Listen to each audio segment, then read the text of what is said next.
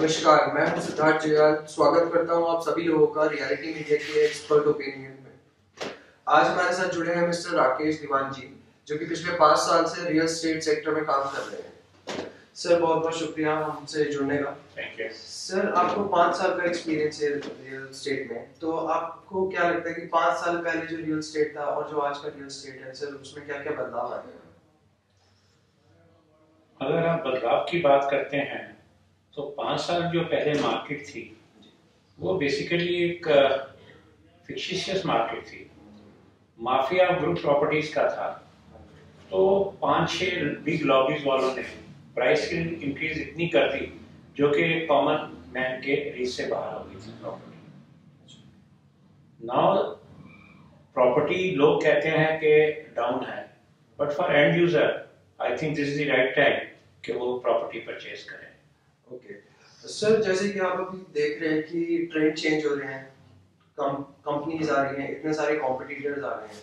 तो जो common man के दिमाग में एक इमेज थी कि मैं ये घर खरीद लूँगा, पर उसके साथ धोखा इतना रहा है, सर, उसका भरोसा उठ रहा है रियल एस्टेट से। इसमें आपकी क्या राय है, सर, उसका भरोसा वापस देखिए हर एक फ़ील्ड में दो टाइप के लोग होते हैं अच्छे भी होते हैं, बुरे भी होते हैं। तो अच्छे बिल्डर्स भी हैं जो टाइम पे डिलीवरी करते हैं सच एस टाटा हो गया गॉडरेज हो गया रहेजा हो गया, सारे होम हो गया तो दोनों साइड ऑफ़ कॉइन है। मेरा तो एक ये सजेशन है कि कोई भी कॉमन मैन जब प्रॉपर्टी खरीदे तो उसका बिल्डर बाई एग्रीमेंट प्रॉपरली पड़े उस समय क्या होता है कि जनरली जो परचेजर होता है या सेलर होता है दे ट्राई सेलर ट्राई करता है कि सब साइन हो जाए पेपर और इतना टाइम नहीं देते क्लाइंट को पढ़ने के लिए। बट क्लाइंट्स को टाइम डिवोट करके एग्रीमेंट को पूरा पढ़ना चाहिए। और सर जैसे आप आपकी राय में जो भरोसेमंद बिल्डर्स हैं तो आप बता सकते हैं कि किसमें कौन कौन है? गॉडरेज है डीएलएफ है रहेजा है। छोटे बिल्डर्स भी हैं।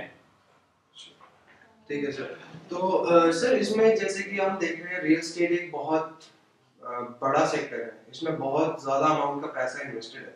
तो सर गवर्नमेंट जो अपना प्ले कर रही है रोल वो ढंग से नहीं कर पा रही है नहीं अभी तो काफ़ी नए रूल आ गए। हुडा गवर्नमेंट ने कई नए रूल लगाए गए हैं जो। कि पहली अप्रैल से इम्प्लीमेंट भी हो गए हैं। जितने न्यू बिल्डर बाई एग्रीमेंट है उसके अंदर सारे वो रूल्स आए हुए हैं। अभी जैसे पहले सुपर बिल्डअप एरिया से प्रॉपर्टी बिकती थी कॉमन मैन कंफ्यूज होता था।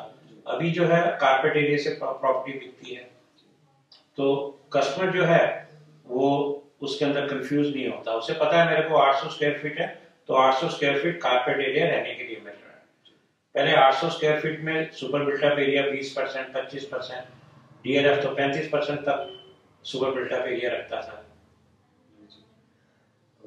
और सर इसमें एक और चीज़ है आप प्लीज़ उन सारे पॉइंटर्स का आप बताइए एक आम आदमी अगर फ्लैट लेने जाता है तो उसको क्या क्या दिमाग में ध्यान में रख के उस टाइम पे इन्वेस्ट करना चाहिए?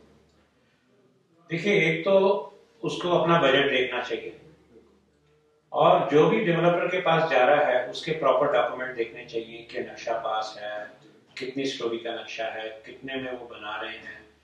जो भी डॉक्यूमेंट्स एक गवर्नमेंट को चाहिए। अभी तो इतना आसान हो गया नेट पे कोई भी प्रोजेक्ट हो उसके sanction plan sanction letter authority के सेंक्शन लेटर्स एवरीथिंग जो है वो नेट के ऊपर है। वो बेवकूफ़ तभी बनेगा अगर वो डिटेल में नहीं जाएगा। तो he should go through the net and उस बिल्डर के बारे में जो प्रोजेक्ट वो खरीदना चाहता है, उसके अंदर जाके नेट में सारी डिटेल्स चेक करे। और उसमें जो कंफ्यूजन है should chart down on a paper और जब वो उस बिल्डर डेवलपर के ऑफ़िस में है, वहाँ जाके पूछे, अपने कंफ्यूजन क्लियर करें। ओके सर तो हमारे साथ थे मिस्टर राकेश दीवान जी। आपके सारे सवालों के जवाब हम यूँ ही लेकर आते रहेंगे। अगर आपका कोई सवाल है तो आप हमें लिख भी सकते हैं info at the rate reality media dot in पे।